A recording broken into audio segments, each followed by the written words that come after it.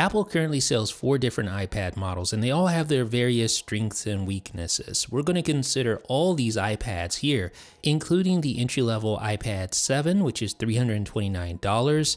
There's also the iPad mini, which obviously lives up to its name pretty well. You can see it fits in my pocket here and that device sells for $70 more, but it has a whole lot more going for it as well. We'll talk about that.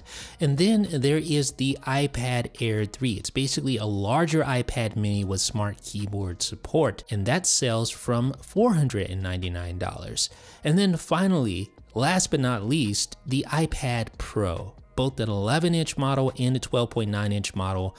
This device right here is the flagship iPad that Apple offers, and it starts at 799. Check out the full video right now, but first a word from our sponsor. 9 to 5 Mac on YouTube is sponsored by Zugu Case, maker of Amazon's highest rated iPad case. The new Muse case for the 7th gen iPad features a robust bumper and industry leading drop protection and design that can protect your iPad from a 5 foot drop even on the concrete. But for me, it's all about the innovative built-in adjustable stand with 8 magnetic angles. It gives you a super secure viewing angle on any surface, flat or not. And don't forget about the built-in elastic pocket to store your Apple Pencil. The Muse case comes with a free one-year warranty, functionality, and it's perfect for travelers, business people, students, and anyone else looking for a durable, dynamic, and sleek iPad 7 case. Special thanks to Zugu for sponsoring 9 to 5 Mac on YouTube, and hit the link in the description to get your iPad 7 Zugu Muse case today. Thanks for watching 9 to 5 Mac. Be sure to thumbs up, click the subscribe button, and then enable notifications with the bell icon so you won't miss any upcoming videos. Okay, so let's start at the very bottom of the iPad lineup with the 7th generation baseline iPad. This thing starts at $329, but you can often find it on sale for just $250. It comes with a 10.2 inch display, so it's an upgrade over the previous generation version. And in my review, I called it the best deal in tech. And I don't just mean the best iPad deal, but of all tech, this is one of the best deals. For $250 on sale, you can find an iPad that can run all the latest and greatest applications pretty well with that A10 Fusion system on a chip. It's not the most powerful iPad, obviously, but it's very, very capable. It comes with Touch ID biometric authentication, so there's no Face ID here, but that's okay. Now, the biggest beef that I always have with these entry-level iPads is that the screen is not laminated. So you have a noticeable air gap and that air gap promotes glare. There's also a lack of an anti-reflective display coating as well. Now you get an 8 megapixel camera with f2.4 aperture. The camera is decent, but no one really buys an entry-level iPad for the camera. If you really want an iPad that can shoot good video and photos, you want to look at the higher end models. Now the big change with the 7th generation iPad is the adoption of the smart connector and that allows you to connect a smart keyboard folio or even one of Logitech's new keyboards with the integrated trackpad. So the adoption of the smart connector really is a major win for the entry-level iPad. It transforms it from just a regular tablet to a tablet that can be used as a laptop. And there is no better accessory to demonstrate this ability than the Logitech Combo Touch with integrated trackpad. So this is a keyboard that uses the smart connector and it has a built-in trackpad which is excellent. So you can actually control your iPad with the trackpad just like you could a laptop. And don't forget, there's Apple Pencil support here with the 7th generation iPad. So this device for $329 often found for $250 is just a, a downright steal in my opinion. And most people should opt for this entry level iPad because it provides the best bang for the buck across the entire iPad lineup. Now, granted, there are reasons why you would want to upgrade to a different device, but for the most part, if you're new to tablets, if you're new to the iOS ecosystem, or if you just want to save money, you're going to be extremely happy with this device. Now that being said, the entry level iPad isn't for everyone and we're going to talk about some of the other iPad models right now. Now, if portability is the most important thing to you above everything else, then the iPad mini is the tablet for you.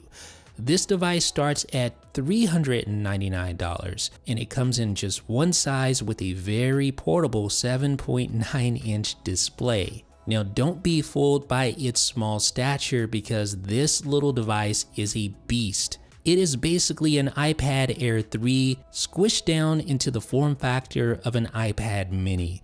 So you get the performance of an iPad Air 3, most of the features of the iPad Air 3, and the display of an iPad Air 3. Actually, the display on the iPad mini is even better because it has the highest PPI of any iPad in Apple's entire lineup. And here you can see it supports P3 wide color as well, among other things like True Tone, etc. It features a laminated display like the iPad Air 3, but like I was saying, 326 PPI is higher than the iPad Pro as far as pixel density is concerned, and you can tell just looking at this thing, it looks amazing. Uh, that screen quality is just second to none. Now, as far as camera is concerned, not a great camera, 8 megapixel camera, similar to what you'll find in the iPad 7, but the front facing camera is actually a big improvement over the iPad 7. We're talking 1.2 megapixels versus 7 megapixels. But again, you're usually not buying an iPad for the cameras. But when it comes to sheer performance, this thing outclasses the iPad 7, no doubt. It comes with an A12 Bionic processor, same processor found in the iPhone 10s, 10s Max, 10R. It supports supports the Apple Pencil, the Logitech Crayon, but it doesn't support Apple's smart keyboard because they simply don't make a smart keyboard this small and it's really just not practical to make a hardware keyboard this small. But that being said, the iPad mini is the best one-handed typing experience you'll find on a tablet. You can easily grab it with two hands and start typing like you're like you're typing on your iPhone almost. So this is the device to get if portability trumps everything else, but you still want a great screen and a lot of power under the hood. Now speaking of power, the iPad Air is basically the bigger brother of the iPad mini. And the great thing about the iPad Air is that it works with the smart keyboard. It's actually a 10.5 inch device. So it has a screen that's about 0.3 inches larger than the entry-level $329 iPad. So you're going to get a larger screen, a much higher quality screen here on the iPad Air, and of course you get that A12 Bionic processor underneath the hood. Now compared to the entry-level iPad 7, the iPad Air 3 is noticeably thinner, living up to its name at only 0.24 inches thick. But what's surprising is that the iPad Pro is actually 0.1 inches thinner than the iPad Air, so something to keep in mind there. So the iPad Mini 5 and the iPad Air 3 share a lot of DNA. The only difference between these two devices besides size is the fact that it includes a smart connector on the iPad Air 3 to allow you to attach something like this, the Apple Smart Keyboard. And the great thing about having the smart keyboard is that it basically transforms your tablet into something you can write like a laptop with. But with the new mouse and trackpad support in iPadOS 13.4 and higher, you can pair a mouse or a trackpad and control your iPad Air 3 that way, and Logitech also makes a combo touch for the iPad Air 3. But compared to the iPad 7, one of the biggest differences is screen quality. Just like the iPad mini, this thing has a glorious screen, not quite as high of a pixel per inch rating here on the iPad Air 3 compared to the mini, but the screen is glorious. It is a P3 wide color display. It supports True Tone. It features a laminated digitizer, so it feels like you're touching the content on screen. Of course, there's an anti-reflective coating as well. If I had to describe the iPad Air 3, I'd describe it as a slightly larger, much more polished version of the entry-level iPad. So here's that entry-level iPad from the previous generation, the iPad 6. We're going to compare that to the iPad Air 3. Mainly just want to pay attention to the thickness differences here since the iPad 7 is almost the same size screen-wise and basically the same footprint from a and width perspective. And that's why the smart keyboard will work with the iPad Air 3 along with the iPad 7, the same exact smart keyboard because the bezels on the iPad Air 3 are actually just smaller to fit that larger display in in the same footprint. And you can see some of those bezel differences here when comparing the iPad 6 with the iPad Air 3. And on the entry level iPad, you have that undesirable air gap that promotes reflectivity among other things. And here's the iPad Air 3, no air gap, so it feels like you're actually touching the app icons on screen. And then notice the reflectivity here. There's the iPad entry level model. I'm going to move it over to the iPad Air 3. Almost no reflectivity there with those AirPods.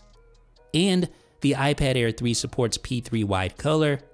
So I'll just tap that. You notice the little image there on the right for the iPad Air 3, you can actually see that thanks to the wider range of color available on that display. And remember the iPad Air 3 features the same A12 Bionic chip that you'll find in the Mini, so you're gonna have a lot of power under the hood to handle whatever you throw at it.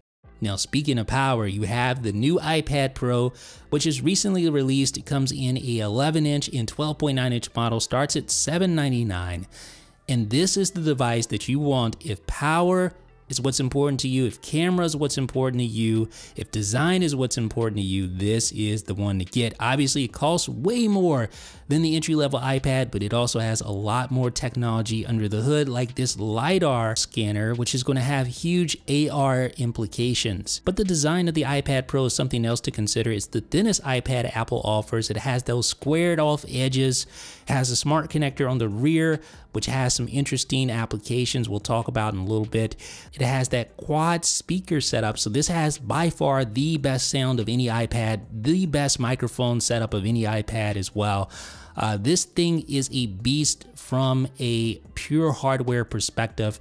It has USB-C for charging and for connecting things like USB drives, etc. It also allows you to attach and charge your Apple Pencil, which is super handy. And all 2020 iPad Pro models come with 6 gigabytes of RAM, and even the entry-level model features 128 gigabytes of flash storage, which is great. The iPad Pro is also the only model to support the second generation Apple Pencil, which again can attach right to the top of your iPad Pro to charge it in for pairing. And the second generation Apple Pencil has a sensor in it when you double tap. You can switch between different tools based on the current application that you're using. So that's that's pretty awesome as well.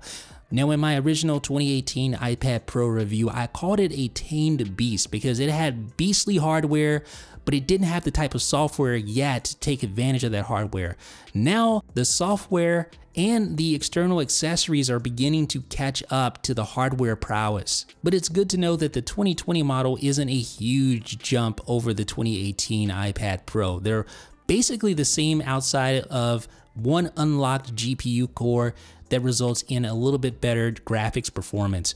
But if you can find the 20, 2018 model on sale, I highly recommend it. But here's the real cool thing about the iPad Pro. Both the 2018 model and the 2020 model work with the Magic Keyboard, which features an integrated trackpad that works with the new iPad OS trackpad feature, which basically turns your iPad Pro into a laptop, much more than a smart keyboard would turn your iPad into a laptop. This is a bona fide laptop. It features a trackpad. It features a great keyboard with excellent key travel. Now you'll definitely have to pay for the privilege because this accessory, the Magic Keyboard, is not cheap, starting at $299. But it is so good. Be sure to watch my review for more. Now the biggest change with the 2020 model is the inclusion of a 12 megapixel wide and a 10 megapixel ultra wide camera on the rear. You also get that LiDAR scanner and it doesn't do a whole lot right now, but in the future you're going to see this thing do some really cool things with augmented reality. So while some of the lesser models feature okay cameras, if you're really bent on shooting video or photos with an iPad, there is no better model to do so with than the iPad Pro. And with that 2020 model, you can use that dual camera system in software to seamlessly zoom out and zoom in just like that. You'll still need plenty of light to make it look good, but this is the best camera you'll find on an iPad. And the iPad Pro features the TrueDepth camera, giving you Face ID unlock. There's no home button, so everything's controlled with gestures. And don't forget that the iPad Pro features the Pro Motion display, that gives you that high refresh rate that makes for super smooth, silky text scrolling when you're scrolling through websites and things like that. And some game developers actually take advantage of the ProMotion display as well, so that's really cool. So there's no doubt about it, if you're looking to be the most productive that you can be, if you're looking for the best iPad hardware, and you don't mind paying for it, the iPad Pro is where it's at. So hopefully this was able to help you determine which iPad is for you. I still think most people would be good with an iPad 7. For those that value portability over everything else, of course there's the iPad mini, which is super nice. And for those that don't want to pay for the iPad Pro but want a pro-like experience, there's the iPad Air 3. And of course, last but not least, the beast, the iPad Pro with that magic keyboard. Let me know what you guys think down below in the comments section. This is Jeff with 9 to 5 Mac. Special thanks to Zugu Case for sponsoring 9 to 5 Mac on YouTube. Zugu Case makes the Muse case a legendary case for iPad users because it features a built-in 8-angle adjustable stand and it's built to last with industry-leading drop protection. Plus, the Muse case features built-in Apple Pencil storage which will prove to be extremely handy for 7th generation iPad users. Check the link in the description where you can find the Zugu Muse case in a variety of different colors. Special thanks to Zugu for sponsoring 9 to 5 Mac on YouTube.